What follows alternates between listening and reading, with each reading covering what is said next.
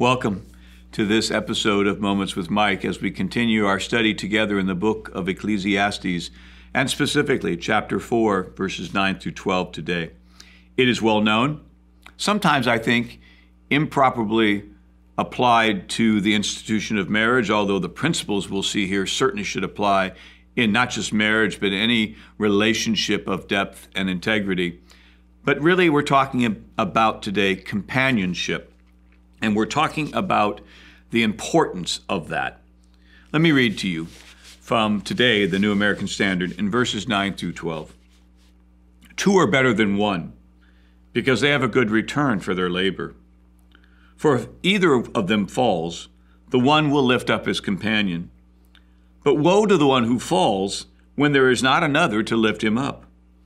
Furthermore, if two lie down, how can one be warm alone? And if one can overpower him who is alone, two can resist him. A cord of three strands is not quickly torn apart. I see three things here. The first is found in verse 9 the success that companionship brings.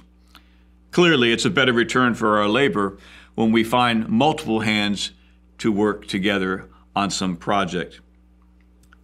Less effort by the individual, but yet more accomplished because we have others who have come to our side and helped us in a point of labor.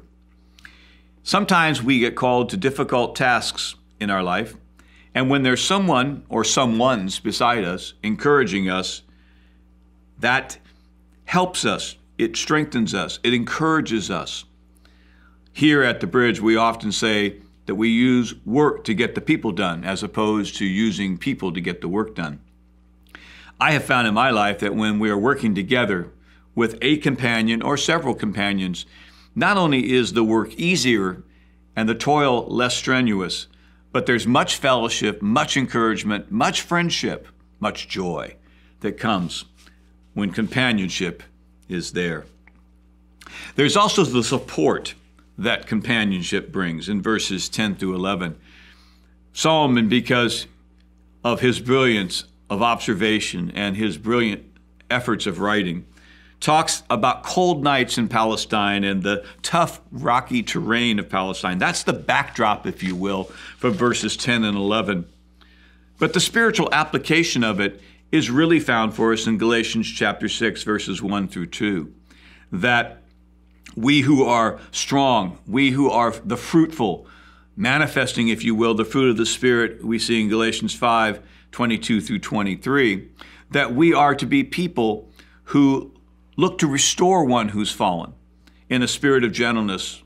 And I see that here in this passage that there is a time for us as we are among the companions of our life where they go through a difficult time. Many a sleepless night, perhaps, many a rough road that they have to traverse. But when we're called alongside to restore, when we're called alongside to encourage, when we're called alongside to minister to them in a spirit of gentleness, there is much fruit that comes from that. Clearly, in Galatians chapter 6 and verse 1, there's also the re examine of our own life in that time. Last time we were together in Moments with Mike, we talked about a quote from Socrates who said that the self examined life is often not lived and is not worth living. That when we fail to look at our own lives, we really don't begin to understand how we can be used to support in the life of another. So I think that it's important for us to understand that this, this companionship that we bring into the lives of others is a, is a meaningful source of support, whether it's restoring someone who has fallen, not through any deliberate means, but through stumbling into sin, as all of us do, but also restoring in a spirit of gentleness, putting back into place that individual who has suffered and has fallen. And then there's finally verse 12. We've talked about, if you will, the success that companionship brings, the support that companionship brings. But let's end on a high note the strength that companionship brings. The dangers of the open road would have been well known in the time that Solomon wrote this. and clearly is pictured in one of the greatest stories that Jesus ever told. That, of course, of the story of the Good Samaritan. The Samaritan story, you know, is that someone had been beaten and left for dead. And it was the Samaritan who found him, put him on his donkey, took him to an inn, paid for him to stay there, nursed him himself, at least initially, to a point of recovery. That's a great story.